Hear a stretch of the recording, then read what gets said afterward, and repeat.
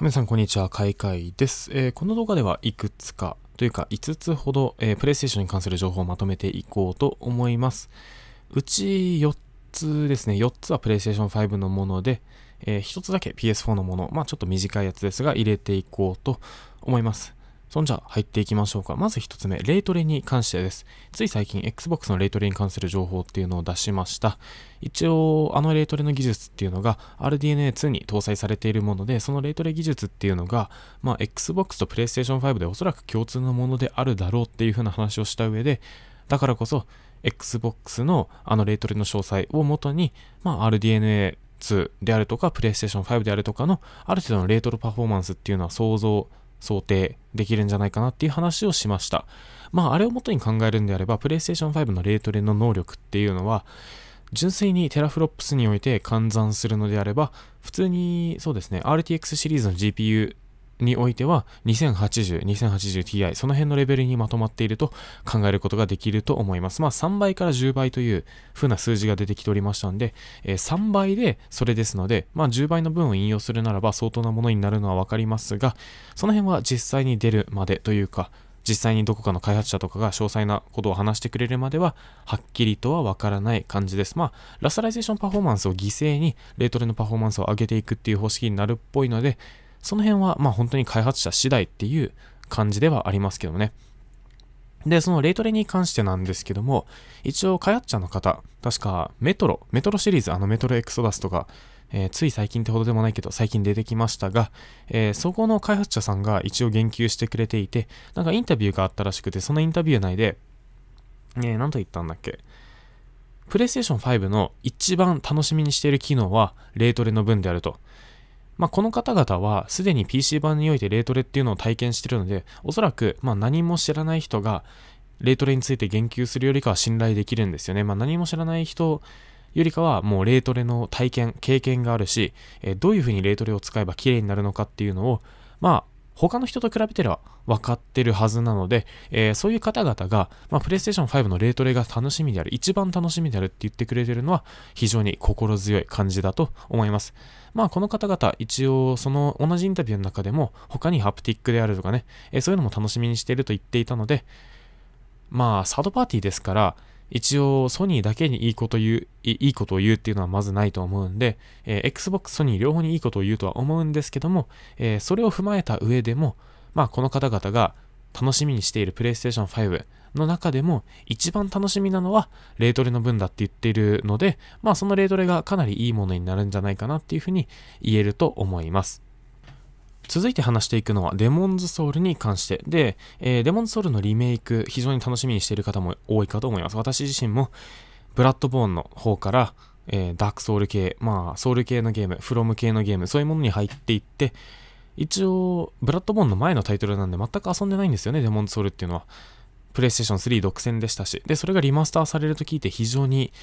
嬉しかったし、遊びたかったんですが、これがね、いつ発発売されるのかっていうのはまだわからなかったんですよ。で、それに関して新しい情報が出てきましたというわけです。あのー、これはうちのチャンネルで抑えようと思ったけど、ちょっと話がちっちゃすぎて抑えなかったネタで、まあ、ここで一緒にまとめて話しますけども、韓国の、確か、韓国だったかな？の、あのー、ゲームの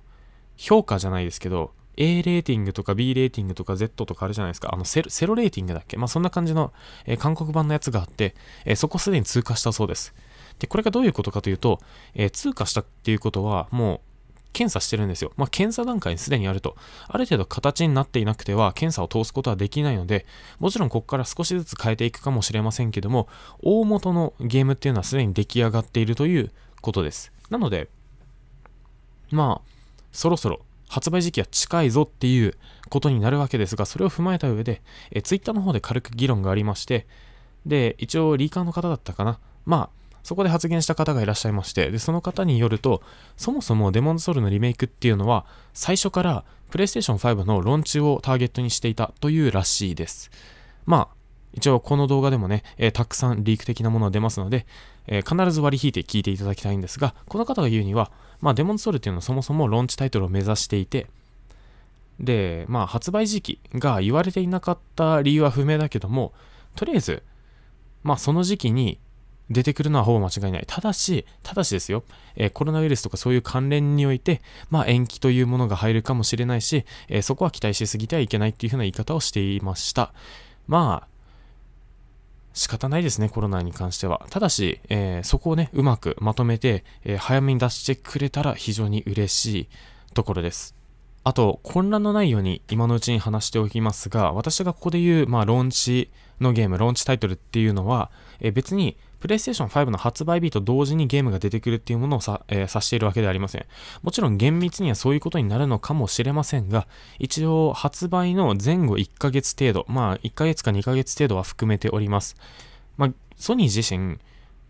独占タイトルたくさんあって、えー、その中にローンチタイトルに分類されるものが、例えば、えー、スパイダーマンの新作であるとかいろいろありますけども、そういうのを全部同じ日に出しちゃうと、まあ、お互いが、お互い潰し合っちゃうんで、えー、ダメなんですよね。なんで必ず、こう、大きなタイトルの間には、え、数週間程度以上空けるんですけども、まあ、それを考慮すると、そのローンチタイトルと言われているものであっても、間を空けるんですよ。で、その間を空けるので、ローンチタイトルが、まあ、実際1個目のローンチタイトルから、まあ、1週間、2週間後に出てきて、で、そのさらに1週間、2週間、3週間後にもう1作出てくるっていう感じの流れになりますので、えそれらも含めるために、この動画で話す、この動画っていうか、このチャンネルで話すローンチタイトルっていうのは全て、発売の、えー、1、2ヶ月前後を含めております。そ,、えー、そこはぜひ踏まえて聞いてください。さて、えー、続いて話していく内容っていうのは、PlayStation 5から新しく搭載、搭載じゃない、えー、発表されたトレーラーになるのかな、えー、プレイハズノーリミッツっていうあのやつが公式サイトに上がってるんで、それを見ていこうと思います。まあ、ここから画面映していきましょうか。じゃあ、一緒に見ていきましょう。じゃあ、行きましょう。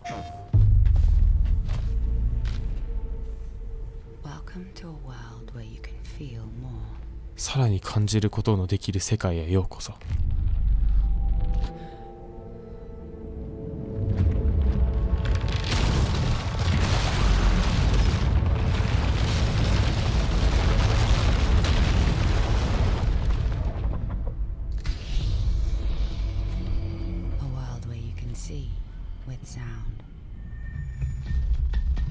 音を通して見える世界へ。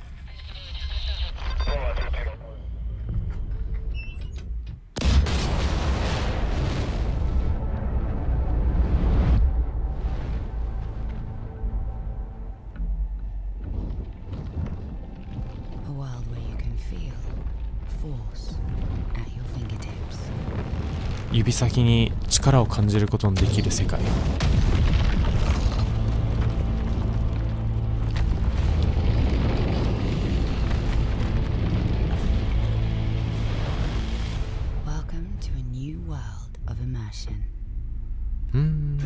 新しい没入感へようこそ。まあ、あれ、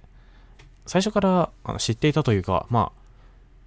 一応これがどういうものなのか聞いていたんで、ある程度把握していたんですけども、まあ、ハプティックフィードバック、えー、アダプティブトリガー、そして 3D オーディオに関するやつというわけです。まあ、あくまでもトレーラーですので、そこまで情報はありませんでしたね。ちょっとだけ、あの、もしかしたらあの 3D オーディオの自慢をしていた部分が、実はちゃんと、あの、なんて言うんでしょうか。その 3D オーディオ技術を利用してやってたかもしれないんで、それをちょっと今から聞いてきます。すぐ戻ってきます。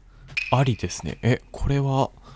割といいかもしれない。まあ、実際、その比較対象があまりないので、これが実際他の 3D オーディオ技術と比べると、え、どれほど改善しているのか、もしくは解約してしまっているのか、そういう部分はわからないんですけども、例えばですね、え、そうだな。この部分とか、あの、すごい自分の真後ろから、えー、右前の方まで何かが走っているっていうのが結構クリアにわかります。もう一回だけ聞きますね、ちょっと。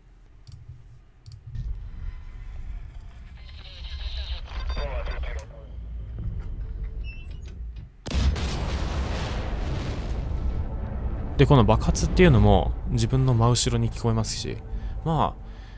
他と比べてどうなのか本当にわからないが、ここだけ聞くとすごいいい感じですね。この 3D オーディオの分っていうのは。OK。そしたら、じゃあこの話はここまでついての話に行きましょう。えー、ついて話していくのは Call of Duty に関してです。えー、Call of Duty、えー、Call of Duty。まあ結構有名な FPS だと思う思いますけど、あの私自身は FPS ゲーム全然遊ばないんで、あまり詳しくないんですけども、まあなんか人気タイトルだっていうことはぐらいは知ります。知ってます。で、この Call of Duty ですが、まあ基本的にはサードパーティーでやっておりますが、一応実際の PlayStation 5との、え何かしらの契約を結んで、で、それににおいて、まあ、ローンチタイトル的なもの、えー、独占タイトル的なものをやるんじゃないかっていう話が出てきております。で、その内容っていうのが、プレイステーションとアクティビジョンが何かしら裏で裏、えー、結びつきを強くしようとする動きがあって、で、それの作用によって、まあ、もしかしたら、コールビディティの次回作だったかな？なんかブラックオプスなんちゃらかんちゃらみたいな、えー、あれが、なんか、時間制限付き独占になる可能性っていうのが、えー、示唆されておりました。まあ、コールブディティを楽しみにしている人にとってはいい知らせ、いい知らせなのか悪い知らせなのかわからんけど、えー、まあ、ある程度の独占性が生まれるのであれば、少しはゲームプレイとかの、え改善にも期待できるかもしれませんね、えその辺の分に関しては楽しみにしていいんじゃないでしょうか。私はもうクソほども興味ないんで、あくまで情報を抑えているだけです。さて、え今日話していく内容のうち最後です。えこれが PlayStation 4の内容になるんですけども、本当にちっちゃいやつです。ゴースト・オブ・シマ。で、ゴースト・オブ・シマの DLC が、えー、最近公開されたじゃないですか。で、あの公開された DLC の中で、まあ、情報っていうのはあまり多かったわけではなかったと。私自身も見ましたが、なんか面白そうだと思えど、実際に何が起きているのかっていうのは全然わからなかったんですよね。で、まあ何が言いたいのかというと、あの DLC が公開されて以降、というか、DLC もそうなんですけども、えー、ゲームの本体、そして一応他の独占タイトルも入ってます。多くの場合。えー、全く課金要素がなかったと。これは本当にちっちゃいことなんで、あまり時間をかけたくはありませんが、あの、大体さ、コールオブディティとかもそんな感じじゃないっけ？課金要素が多いんですよ。で、あの、日本は結構ソシャゲとかで慣れてて、あの、課金があってもあまり文句は言われないところではあるんですけども、課金要素かなりもうめんどくさい。やめてくれっていうのが、えー、私の正直な意見で、他のいろんな場所での正直な意見ですので、ここで課金要素を排してくれているのは非常に嬉しいことだと思いました。という話ですね。他に話すことはもうないかな。えー、とりあえず、じゃあこの動画はこの辺に締め、この辺にしましょうか。では、えー、楽しんでいただけたら、ためになったと思っていただけたら、ぜひチャンネル登録と高評価の方よろしくお願いします。また、他の動画や他のチャンネルなど動画説明の方にリンクしておりますので、ぜひご確認ください。ではご視聴ありがとうございました。バイバイ。